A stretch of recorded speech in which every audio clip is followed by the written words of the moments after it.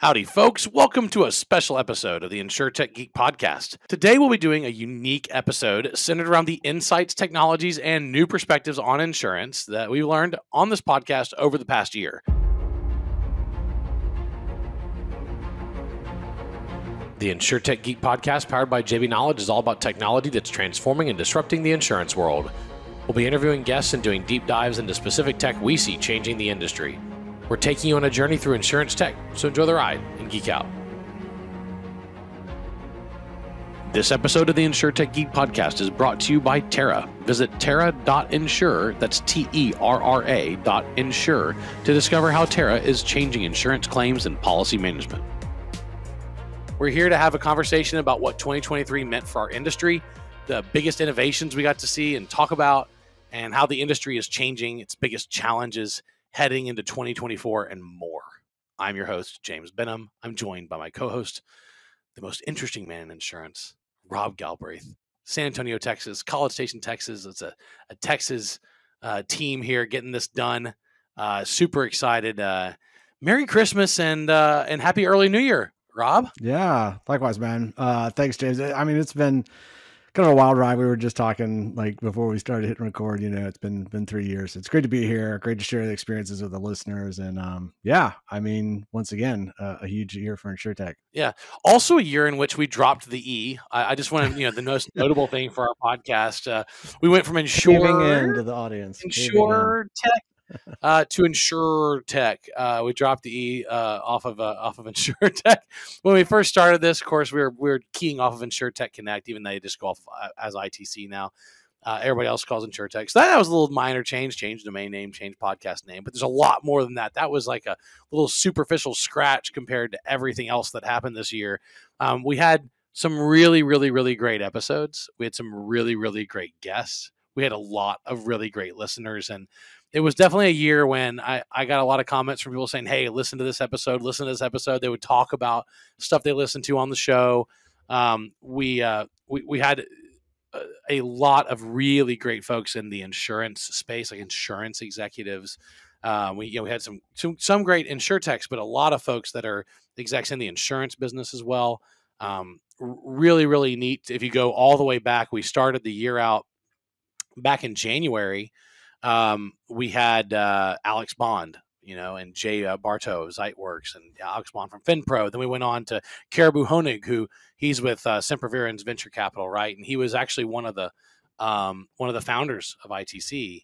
Uh, then we went to Roberto Sacconi from Dreyev. We um, had some good conversations with Roy Mill from Joshu. We uh, discussed commercialization with Steve Miller.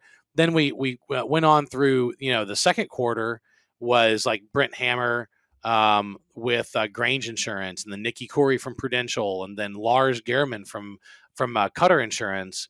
I actually got to circle back with Lars uh, this past week and had a great follow up with him. He had a really cool uh, conference there in Qatar for insurance and insuretech that I'm really looking forward to hopefully going to this this coming year uh, I was excited about. We also had a really great conversation with uh, Jeff Shee, Sean Davis, and Ira Ziff. That was actually a little brainchild of Jeff, who's been just a high energy, amazing person to be connected with.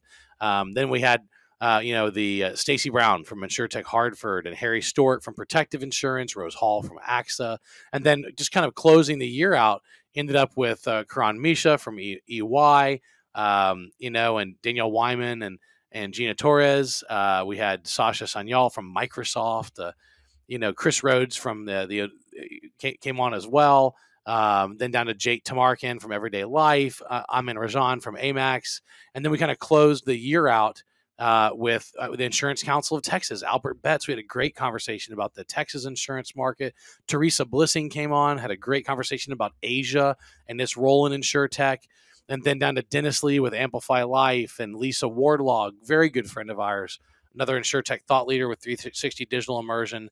And uh, the most recent podcast that's live, um, we had Greg Hamlin on from Berkley Industrial. So it was a really good conversation. We got another episode coming up, by the way, with the the insurance commissioner of Nevada, yeah. like, which was which was really exciting um, to have a great conversation on on that. It was great. So I mean, I would say like if I look back at the year we had conversations with people from all over the insurance space, whether it was insurtech or insurance or work comp or property, auto, GL, different lines. We had life and health. We had people from all over the world that talked about insurtech in Asia and insurtech in Qatar and insurtech uh, in Europe. We had a European insurtech conversation. We it was that that's and, and, obviously down to our own country, Texas. No, I'm just kidding. It really So that was kind of like for for me, the exciting was like before we jump into our questions, Rob, was the the breadth and depth of geographical reach of people that we had that were really excited about insurtech, and then also like lines, you know, lines of business and the different flavors of insurance. Don't you think? Yeah, I think it was a great year for the podcast, and I mean. um you know, I actually kind of credit you, James, because when we started out, right, our focus was a lot on the st- startups that were go- kind of shaking up the industry, you know, new to insurance. We wanted to make people aware of them. Uh, oftentimes they're leveraging right newer technologies, emerging technologies is kind of the term I use, right? Whether that's AI or GPS or cloud or you know whatever it is, right? Or maybe they're actually competing and they're selling their MGA or whatever, right? And so the first couple years we really focused on that, and you know you kind of had this insight of you wanted to actually go broader, right? And you wanted to focus on where's change happening in the industry, no matter where, right? So it could be carriers, it could be consultants, it could be technologists, it could be thought leaders. And so hopefully our audience kind of saw that, longtime listeners, right? And, and viewers kind of saw that this year that we've really kind of expanded, I would say, the mix of guests that you're getting and you're getting you know, some of the more senior officials. And like you said, now even the regulator we're adding to the mix. So I just think it's been an exciting year for the the podcast. And I think we're maturing maybe as the insurtech movement is maturing as well. Absolutely, it really is. I mean, the whole movement's really getting, you know, uh, a lot of the uh, hype cycle has flushed out, right? And so we're getting down to the meat and bones of what actually is uh, able to deliver returns back to policyholders and returns to shareholders of insurance companies, right? Because those are the two areas that you really look for. Is like how can the how can the shareholders of insurance companies win? Um, how can the policyholders win? Like you want both parties to win, uh, and you want technology to drive better results for both of them. We don't want either to to win at the expense of the other, and so that's uh, that also involves you know eliminating a lot of waste out of the industry, which is really really uh, what a lot of our topics center around is how to cut out waste, right, and deliver a more efficient, effective product. So let's jump right in. Um, after discussing how innovation needs to move fast in an industry famous for resisting change, through all these episodes I just mentioned, we encountered a lot of great stories, company companies, and interesting individuals. Uh, who do you, like team or company or individual, consider to be the biggest disruptors in insurtech this year? Yeah, I think uh, it'll be this year, and it may be kind of lasting. It, it probably was, you know, previous years, and, and, definitely going forward. And I'd have to point out to Microsoft in our conversation with Sasha Sanyal because, you know, uh, obviously a ton of uh, insurance firms have a relationship with Microsoft. They've used the Office suite for years, right? Uh, they probably have Exchange for their email.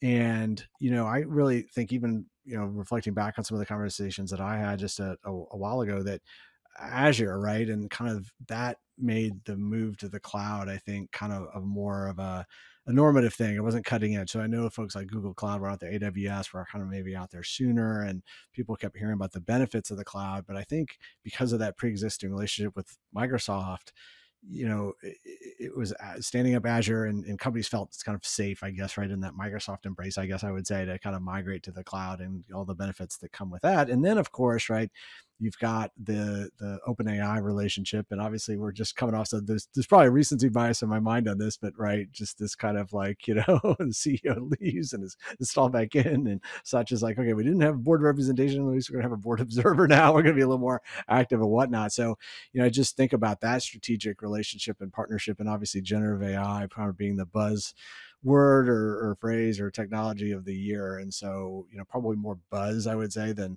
than actual application um, this year but i definitely think going forward that's going to be a revolutionary technology particularly for the insurance industry where we have so much unstructured data right we're not we're not uh, lacking for data in the industry. We're lacking for insights. We're lacking to make sense of it. So I would kind of point them out. I'd kind of reflect back to you, James. What about you? What do you think is kind of the most impactful, you know, trend or company or disruptor from this? Well, I think that um, to to to to um, parry off of the uh, comment you just made, I think the biggest technology that got the entire population excited and that got the entire business community excited and that raced to 100 million users faster than any technology or tool in human history ChatGPT unlocked a lot of people's brains as to what's actually possible with large language models, which are a specific subset of AI that was really not on the general population's radar before now. They were looking at machine learning models, maybe, if they even knew what that was.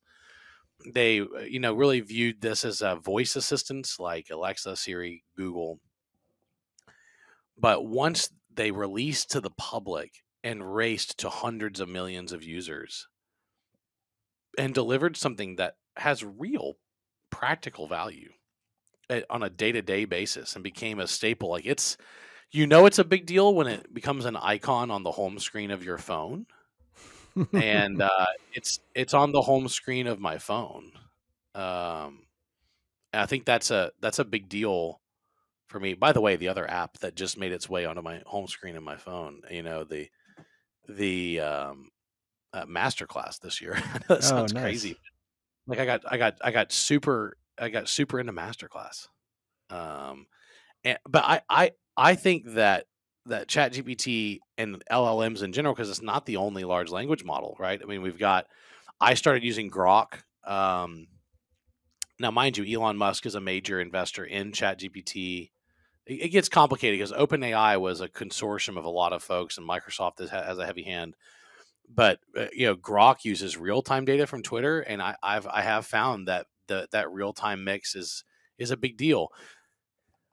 But again back to insurtech i think that unlocked a lot of people's mind in insurtech as to what's pop- possible by feeding um, private llms not public llms with you know sensitive data uh, and then starting to ask questions because uh, like you said we're not we're not lacking data we're lacking insights. We got a ton of free text tons tons of free text and you saw some really cool tools come out this past year that summarize medical records for work comp claims or for like any claim, by the way. I mean, like WiseDocs is super cool and it it goes through and deduplicates and summarizes medical records. Like that's really freaking cool. Uh, and it saves a ton of time. And you, you, can do the same thing with with you know diaries and, and claim notes. Uh, is is providing for a summarization. It's huge. I I I fed I fed Chat GPT seven RFPs the other day and had it summarize all the requirements that were common to all seven. It did the work in under a minute. That's awesome. well, that that's really that's really helpful. I mean, it's oh, it would take an hour to do manually, right? And you it would take an hour to do that manually. Job either. Yeah, and it's and it's really super helpful, super useful. So I I think that's um that that's something that's really unlocking a lot of brains. But the reality is, it's not in production in a lot of places. Right you know embedded in applications. And so you know what what change what moved the needle in production for insurance companies? Well a lot of cloud migrations. I agree azure it was a major year for azure migrations. It was a major year for porting applications to the cloud and starting to actually leverage azure, azure cognitive services and ocr and all the things that are baked into that. So I, i'd say outside of large language models just azure cognitive services in general in azure i would totally agree with you. And you know from our from our client base because we work for carriers tpas uh, brokers. We do custom software and we have our own off the shelf product. Th- those were major innovations this year um, that that have been around, but really commercialized well this year. Um, so I think that's that was probably mine. Um, you know, we could fill a book or both of our books. So we both had books. Uh, you know, I, I, released mine a year ago. You released yours a little bit longer than that ago. Um, yours, End of Insurance as we know it. Mine, Be Your Own VC. Um, we could fill a book with all the challenges that our guests brought about in our discussions about the industry. So, what would you say is the most common challenge our guests talked about? Yeah, I was trying to uh, think. I mean, I think uh, a couple things. Um, number one, I would say um, just automation, streamlining, right? There's a lot of expenses, unfortunately. Um, so you look at expense ratios, the cost of different product lines. Obviously, it varies. Auto is going to be less than a work comp, say, or you know, long uh, tail liability lines, et cetera. But everyone's got mundane processes, right? We've talked about like broker submissions and and and claims handling and you know the underwriting process and things like that. So there's a lot of back office stuff that you know uh, client facing folks like never or the clients never see right? But yet they're driving up costs and inefficiency and it's not necessarily improving the customer service. And i think we're in this weird time where you can actually save money you know streamline your processes and provide a better customer service. Like normally you have to pick a trade off there, right? Well, if I want to be, have best better customer service, I gotta you know have a higher price point, right? No, I can have bare bones, right? I can be the Southwest Airlines, no first class, no meals, etc. Right, a lower price point, but not as good customer service. And we're in this very you know unique kind of time of, of sweet spot where you can actually do both. You can reduce expenses and improve the customer experience at the same time. So, you know, I think just different people, uh, uh different uh, places along that journey, but that was kind of a recurring theme that I heard people. Two other ones, obviously, like you know, with interest rates funding profitability. That's why Be Your Own VC was kind of released at the perfect time, James. So congratulations on a year, and congratulations on hitting the, the market exactly right. As the Fed's jacking up interest rates high heaven, and now you know everyone's pulling back from a from a funding landscape, and then talent. Right, you kind of mentioned folks like you know Alice Bond, Alex Bond and the conversation we had with Jeff and and Ira and folks like that is something that it was kind of like and I get a lot of questions about that and I'm not a recruiter I'm not in that space but yet you know I know that that's something that just a ton of people are really focused on right? It's like how do I upskill the people that I have? How to replace the talent that's walking out the door that's retiring how do I keep young people in what's traditionally been an apprenticeship type model? But guess what? They don't want to sit there and be like an underwriting assistant for five years before they can actually have their own book, right? Or or producer, et cetera, et cetera. And so how do I deal with this constant change where we're really getting away from that kind of lifetime employment model within the industry? Um, so I know, and I, I, you mentioned Albert Betts. I know that's something that he's been very focused on with uh, the members that he has. Yeah, it has. It has absolutely. I mean, the Insurance Council of Texas is very concerned about uh, recruiting of the future generation of uh, of people into the industry as well, right? And uh, they were actually at on campus at the uh, the university. I'm on the board of Regents of Texas Southern University, and they were there talking and recruiting people and providing um, some really great resources for them. Um, so I was really excited about that, and it's uh, I, I think you know long term what we need for for the insurance business um, is a um, a set of really strong university programs around insurance because I think that would that would really because if you have university programs where professors are focused on insurance, they'll do research as well on insurance as well, and and they can produce really high quality research that the that the industry can then consume. So there's I think there's a, a lot a lot there uh, on the table that uh, that can improve uh, for sure. I think that would be a big deal. Um, what what about like what about like a tool or assortment of tools you think the whole industry should keep an eye on to face some of those challenges? Like we've we talked about you know chat gpt and open ai we talked about azure and of course this the set of tools in azure is huge enormous massive like the set of things you can leverage for image recognition and text and even text summarization. That's actually a feature in cognitive services is a summarize feature that does text summarization on large documents. So, you know, you could definitely argue you've already answered this by saying Azure because cognitive services is a massive set of tools to enable a lot of this change. But what eh, does anything else come to mind for you? Uh, so I'm going to share my thoughts, but I, I, want to turn this question back on you because I know you've emphasized the importance of like creative, uh, creating digital ecosystems and in insurance, and and so you've got your pulse on this probably even closer than I do in terms of what you do, right, from a technology standpoint and the clients that you serve. But you know, to me, it's all about kind of flexibility and agility, and people have been struggling with that. So they they you know kind of upgraded from their old you know tech debt, right? Legacy systems, and they've moved to like the Guidewire, Duck Creeks, right, or some of these other systems with Jesco's, and so that's that digital transformation's been really all about what the 2010s were about, and obviously some people are, are still on that journey. Um, and then other people have been trying to like automate through like RPAs and stuff like that. But then they recognize, you know, and I had this problem too, where it's like, oh, guess what? The Secretary of State's office changed their look of their websites. Our RPA breaks, right? Now we got to reconfigure and all that. So, you know, I've been hearing a lot over the past two, three years about kind of low code, no code platforms and, you know, kind of almost like a lightweight, right, policy admin system or things like that. Maybe I, I have some product innovation I want to launch. I don't want to do a full Guidewire implementation. I just want to see if this is a thing or not, right? And I want to build up a little, you know, carrier portal or I want to have a little, you know, claim system or billing system, whatever, and kind of see. And if I need to migrate it later on, if it takes off, then great. But so that kind of there's been a gap, I think, in that kind of like lightweight, you know, flexible, easy to modify, easy to stand up, easy to modify kind of system that I think a lot of insurers have been kind of looking for to to bring true innovation to the marketplace. So that's what I would say. But I'm curious your thoughts on that uh, subject in general, and then particularly low code, no code platforms, if they're worth the squeeze or not. Yeah, I don't know if they're worth the squeeze or not. You know, the because I think the the jury's still out on that. Um, look, you, this is, saying low code no code is like um, it's like uh, it's like saying something's powered by AI. Like a lot of times you pull the uh, you pull the, the the the hood up and you look at it and you go, oh, it's the same thing we've always had. It's just a bunch of if then conditional statements. I was like, we first had chatbots hit the insurance market, and I went and tested some of the chatbots and I was like, this is literally the same ANSI text terminal interface I coded when 1992 on MS DOS. Like you literally just created a text interface where people select numbers. That's not a chatbot, you know. So that's that's challenging. Whereas like what I do with Chat GPT every day, that's a chatbot. like I I can have full sentence conversations with it and it knows how to interpret what I'm saying. That's more along the line. When you go to low code, no code, it, this this actually ties back to an episode, and unfortunately, I don't remember which one it was because I was racking my brain about this earlier, and it was an episode where one of our insurance carrier um, guests was talking about how they stand up new lines of business, and they said that in their in their company, they don't they don't let them stand up a new line of business on their core platforms.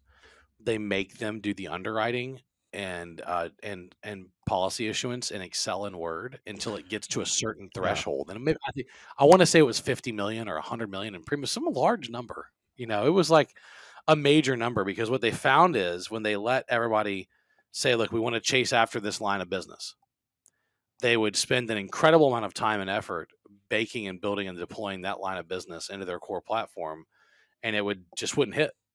They wouldn't be able to write the business and they found that they could actually uh, they could actually underwrite and issue policies in Word and Excel, which you can do. Like you can do that. You can do on small volume. You, you can absolutely underwrite and do policy issuance on Word and Excel. And uh, I mean, carriers do it all day long, every day. And so they said, look, once you hit a certain threshold on premium, then we'll go ahead and put the project in to bake it into our platform. And I thought, man, what a great approach to forcing an underwriting team and you know forcing a business development group to to really put up or shut up you know like show results go out and sell this. Um, and yeah we'll we'll build the systems to support you later so that you know so we can scale it. But to prove the concept i thought it was great for lightweight proof of concept certainly the promise of low code no code is that you without hiring a lot of software developers now in a low code platform honestly, you end up still writing a lot of code. You're just writing a lot of code in a platform that already has a bunch of intrinsic built in features. And, and I'm not going to name specific names, but there's platforms out there that give you a new scripting language that's usually based on JavaScript that requires that you configure your system. Well, when you at the end of the day, you're still hiring devs to to to code this. You're just coding it. It's just like, and honestly, like GuideWire, uh, Gosu is their own version of Java they did that what 20 years ago. I mean, they they literally rolled out their own version of Java that you have to configure their system with, and then you compile GuideWire. So this that's that's not a real new topic. I mean, Salesforce has eight has um uh geez. Their Trailblazer learning plat- platform will certify you in their own scripting coding language. But it's all based on JavaScript and so you still have to code, right? You still you still have teams, you still have deployments, you still have deployment schedules. So like, I don't know. I, I think sometimes a purpose built um, policy and claim system that that you know is configurable.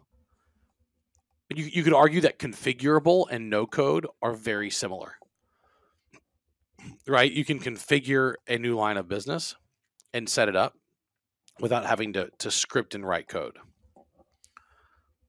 So it's that that's that, that's the deal. Like in, in Salesforce, you're going to write Apex code. In GuideWire, you're going to write Gosu. You know, and then then you then you go to some of the newer low code platforms. They've created a new scripting language based on JavaScript that you have to compile. And so it that that's why I, I question whether I think you're still going to be coding. It's just how how how many lines of code you write are way less, and that's really what it comes down to. Like it's just way less. Uh, you know, when we do Apex work in Salesforce for insurance companies, it takes way less time than if we if we had to build all the core intrinsic features from the ground up because with Salesforce you get all their core baked in feature functionality that you can just reference as an object. And so I, I, think that's the the big time saver on deployment is that you don't have to code all of these concepts from scratch like you would if you were writing it in .NET. And so um, that being said, you still have to have engineers, you still have deployment cycles, still got to build things. Yeah, I think that's the resource, right? Where's where's the bottleneck, right? And so is the bottleneck, right? Prioritization. We don't have enough you know engineers right? We don't have enough like um, and obviously folks have gone from like you know waterfall to agile to help save that but i mean i think that's where the promise of no code of oh your product manager you know can just drag and drop on their own. They don't have to engage right? Anybody on it they don't have to get prioritized. They don't have to write stories or whatever right? Um, but to your point it's like you know i don't know how far you can go without involving somebody with some technical knowledge that actually knows what the heck they're doing. Yeah yeah yeah. So it's, it's like you you don't necessarily get away from IT groups and coders. They just code in different things that make it faster to deploy. We write probably 70% less code to, de- to deploy something today than 20 years ago. Because there's a lot of stuff that's built in. You want to you want a table that search, sort, filter, export, drag. In 2001, when I started this company in my dorm room, I had to hand code all that. I had to hand code all the feature functionality: search, sort, filter, export, now it, I drop one object in and it's done. Drop an object, feed it a list, and I have all that functionality. Okay, that's that's pretty helpful, right? That that, that accelerates our our timetables for delivering code. We'll see. We'll see. So l- let's let's move on. Um, this this is uh this is something that I, I it's almost like our hot list of of uh, insurtech uh, in- influencers. and this is actually what I want to. Uh, what what this is my, my last question for you. We've inter- we've interviewed some of the really super interesting people during the year. As the most interesting man in insurance, who do you think is bringing about the biggest changes or highlight to the industry? Uh, it could be insurers themselves, thought leaders, CEOs. Uh, is it a team effort? Um, you know, like wh- who, who do you think the big movers are that are actually having an impact in the in the space and it could be a company it could be an individual it could be a team.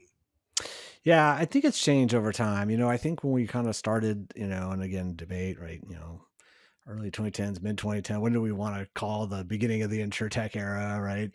Um followed fintech by two three years whatever. So wherever you demark that I, I think the beginning i would say was very much driven by outsiders and that could be technologists right entrepreneurs you know that's what I, I uh, tell the story in my book of like hey i went to my cpc underwriting conference every year and in 2015 was the first time i actually met somebody from silicon valley. Now i'd been to silicon valley i had friends in high school that worked for companies there or whatever but it was almost like that was our world and i was in insurance world and the two didn't mix at all right? And then all of a sudden it was like oh you don't know anything about underwriting. Why are you here? It's like well I want to learn just enough to put all you guys out of business. Like oh wow you know this is guy's kind of arrogant and full of himself like I'm not used to our congenial you know uh, uh, insurance. And i had people people like an InsureTech Connect, you know, were outsiders that said, oh, "We love working in insurance because you guys are so friendly." Whereas other industries would disrupt. Everyone, you know, hates us or whatever, right? so I was like, oh, that's interesting. So I do think at the beginning, right, for the first five years or so, it was driven by you know outsiders right? And even you know folks like deloitte and other like outside right consulting firms were kind of seeing this right? I think that's changed and i think it's driven by a lot of the individuals within the insurance industry now and so i would say there's really kind of three categories of of like roles that i see. So the first is i would just say uh, usually a division head, right, or president. So the chief claims officer, chief underwriting officer, and they're probably the biggest uh, uh, mover because they have people, they have needs, they have limitations. So, you know, they're, they're hearing it from their leadership team of like, you know, here's what we're not able to do. Plus, they're getting like, you know messages from the ceo and others of like hey we need to move faster. We need to be able to do have this capability et cetera. So they're really where the rubber hits the road. They have the purse strings and i think they can really drive a lot of eh, you know innovation within their organization. So i would say it's kind of at that you know division head level or or, or you know again chief underwriter chief actuary et cetera. The second group i would say is is probably um you know the CEOs themselves, um, they probably have a, a more long term view and a more outsider type view. They probably you know have access to, you know, whether it's a CEO council, whether it's a you know, consulting firm or whatever, right? Like they're probably getting exposed, so they're probably thinking a little bit longer term. I, I just think like where the rubber hits the road, sometimes like there's more immediate needs, and so that gets more attention. But Yep.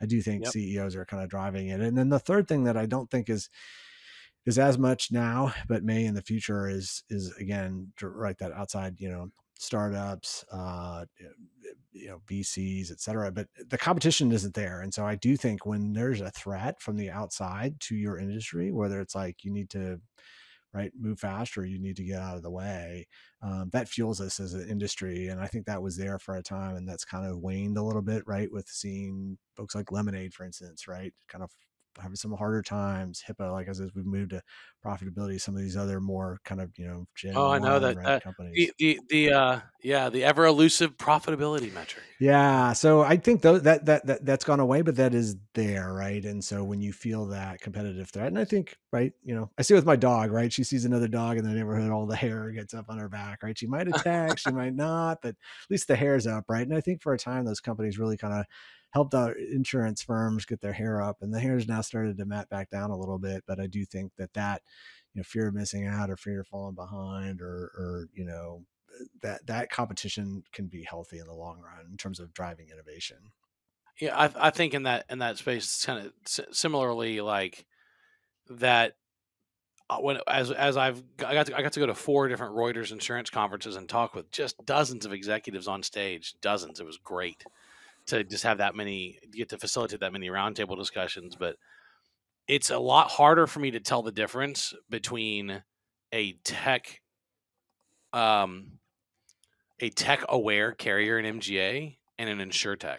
Like if I you know what I mean? Like I I look at them and they're working on the same project. In fact, some insurtechs that I kind of know the inner workings of have the same tech stack as some major insurance carriers and MGAs. Like there's really very little difference. And so like one calls themselves an insurtech and one's too old to get away with calling themselves an yeah. insurtech.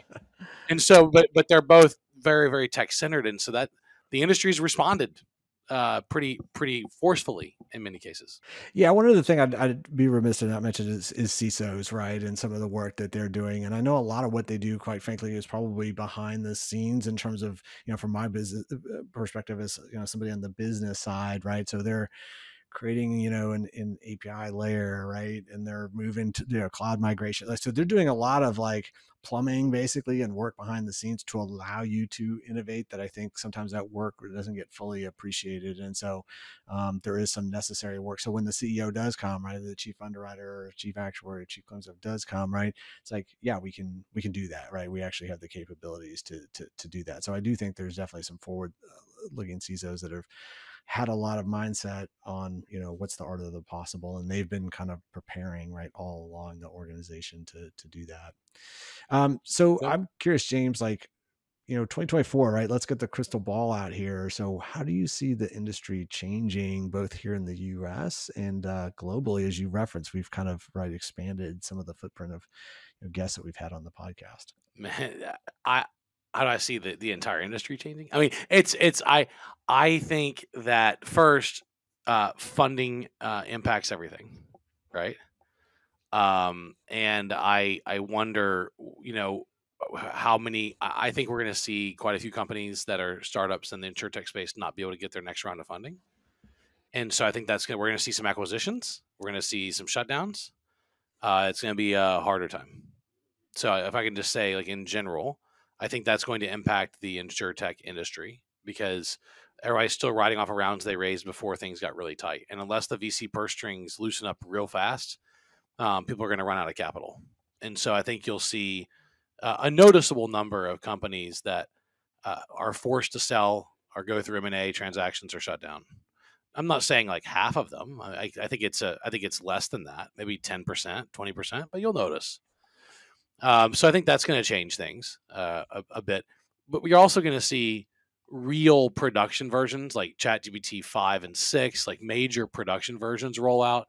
You're going to see Google's competitor and you're going to see Twitter's competitor and you're going to see a bunch of different companies that roll out really good API driven um, large language models and that are really usable.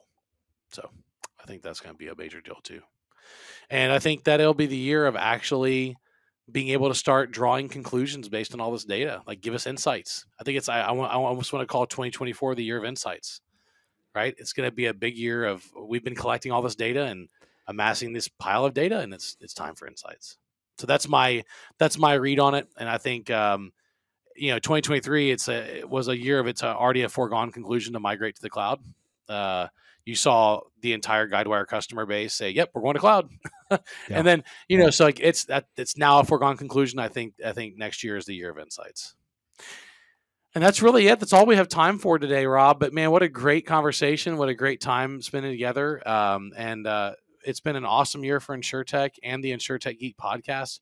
Rob, as always, thank you so much for joining me for this and every conversation that we have. You've been an incredible partner in this podcast and co-host.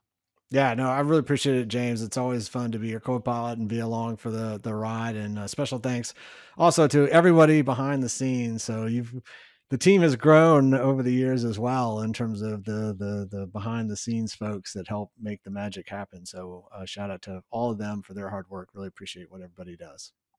Absolutely, and I'll I'll go ahead and name a few of them. Uh, Lucas Lakeen, he's our video guy who's on right now. We've got uh, Pablo Landriel, who's in charge of design and graphics and creative director here at uh, JB Knowledge.